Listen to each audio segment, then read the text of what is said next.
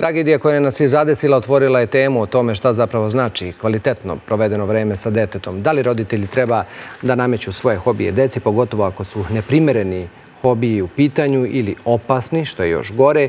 I naši gosti su Mirko Mitrović i Nenad Subotić iz škole roditeljstva i udruženja Prvi put s ocem. I kako se zabaviti s decom, ali i usaditi im prave vrednosti kroz neko slobodno vreme, to je naša tema. Hvala vam što ste došli.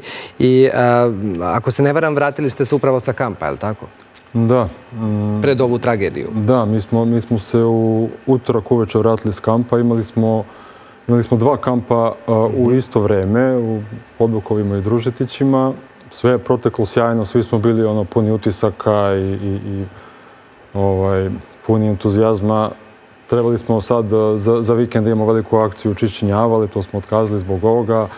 U sredu ujutru se ja čujem sa snimateljem koji je snima u Podbukovima, koji mi prenosi svoje utiske. Prvi put je bio sad na kampu koji je sav oduševljen kako to sve funkcioniše, kako očevi rade. A što ste otkazali? Evo, kažu sad da je pravo vreme okupirati decu, da pa, ih eliminišemo ovih informacija i sve. Lomili smo se oko toga, ali ono što mi radimo podrazumeva graju, podrazumeva veselje, podrazumeva proslavu neku života. A mislite za subotu juče? Tako je. Izvinite, ja sam mislio da govorite o sljedećoj subotu. Da, da.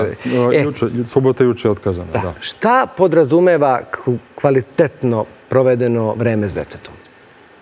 Pa, e, dobar dan. E, kvalitetno provedeno vreme s detetom prevaskodno nije samo stvar kvaliteta, nego i kvantiteta. Znači, često čujete kako ljudi pričaju treba kvalitetno provoditi vreme s decom. Da, ali treba i dovoljno vremena mhm. provoditi s decom. Znači, ako nešto radite zajedno sa detetom, ako se igrate zajedno sa detetom, učite zajedno sa detetom, pravite nešto, sve što radite zajedno sa detetom, iskreno. Znači, vreme. Tako je to je dobro. Ali nije dovoljno. Znači, treba da vodite račune o tome da nije dovoljno 15 minuta dnevno, nije dovoljno pola sata dnevno. Treba se truditi što više mhm. vremena da provodite sa decom.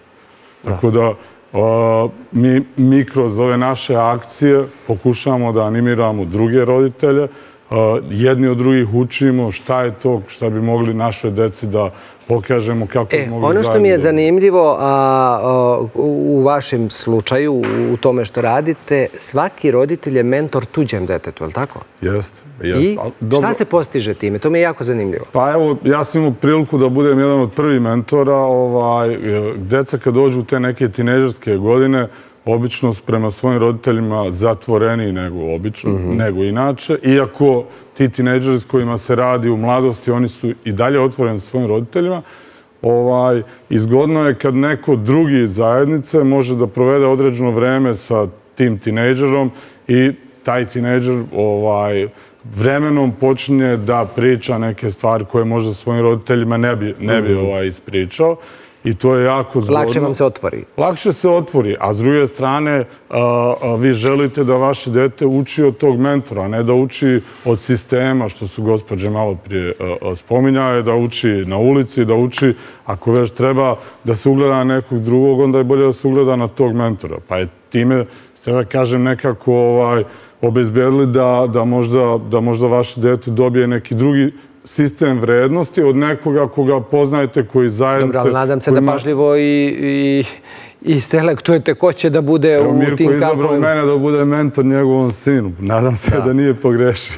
Ovaj, ali kada pričamo ovde i treba im u tom vremenu koje provodite usaditi te prave vrednosti, a došli smo do toga da je danas najvažnije ta popularnost, pošto žive u eri društvenih mreža i takmičuju se na jedan nezdrav način. Kojim vrednostima ih učite? Šta uspete kroz taj kamp da im usadite kao vrednost? Pa mi ne možemo na samom kampu da im usadimo vrednosti, ali, ali, ali možemo da edukujemo roditelje da je uh, u svakom sistemu, svaki sistem, uh, kruna svakog sistema su vrednosti. Uh, sad ako, ako govorimo o širem, širem, širem sistemu, tu vidimo očigledne probleme velike i tu sad baš nisam optimista da nešto možda se uradi u kraćem roku, ali svaki, svaka porodica je mali roditeljski sistem. E, tu im roditelji imaju suštinsku ulogu da uspostave svoje vrednosti i tim vrednostima jedino im mogu da nauče decu. Znači, ako, kad roditelji osveste da je to ono što je najbitnije, onda prvo sebi, sebi treba da propitaju koje su to njihove vrednosti. Znači, šta je to što njima najbitnije? Je li to sloboda? Je li to komfort? Ne može oba. Je li to status ili je to neko lično postignuće, lična misija? Opet ne može oba. Znači, mora da se jasno razgraniči šta je to i onda da se sistem gura ka tome. Da. A kakav je pristup? S kim je teže ili s kim je lakše? S čerkama, sa sinovima, s dečacima, s devojčicama? Pa ja možda nisam prava osoba za to pitanje, s obzirom da imam samo čerku, ali ovako kad vidim druge dečake i to... Ali ne, pa baš jeste, vi imate čerku, a kome ste bili mentor? Sinu ili... Sinu. Sinu. E. A da, ovaj, sa devojčicama je teže u smislu da su one možda zahtevnije i možda su razumnije u istom uzrastu nego dečaci. A sa dečacima, s druge strane, možda malo, malo lakše, ali ne znam. Teško je to pitati. Ja sam blizanac. Imam sestru blizanakinju. I moj čale uvijek govorio ko nije imao, ko nije imao čerku, taj ne zna što znači biti roditelj. I dan danas to govori. Ovaj, ali ja mislim da, da nije tako teško imati čerku. Ja imam čerku i mislim da neću imati nikakvih problema. Da, e, ali jako zanimljivo. Ali a, ne možemo da, da se ne ostrenemo na ovaj slučaj. Imate slučaj koji je otac imao hobi te streljane i vodio je dečaka u streljanu. A, šta radite, šta vi radite? Je li pažljivo selektujete šta, šta im možete prezentovati? Da, kako, kako, kako napravite tu selekciju? Evo za kraj mi recite jedan i drugi, šta, šta da im ponudite? Pa na prvom, sve što im ponudimo izaći će iz naših vrednosti koje gajemo u, u, u, u konkretnom sistemu. Da, da li je to roditeljski sistem porodice ili je to sistem, sistem naše zajednice. Znači, sve ono što radimo na kampovima a, tiče se onoga što želimo da postignemo. Znači, upoznajemo decu sa prirodom, upoznajemo decu s tim da, mogu, da, da, da moraju sami biti odgovorni za sebe tako što će sami za sebi da spreme nešto od hrane, sami će spremiti napraviti šator i tako dalje. Znači, direktna odgovornost, lična odgovornost za svoju dobrobit sutra, tako ih učimo. Ovaj, tako da, ne bi sad išao u prevelike detalje šta konkretno radimo.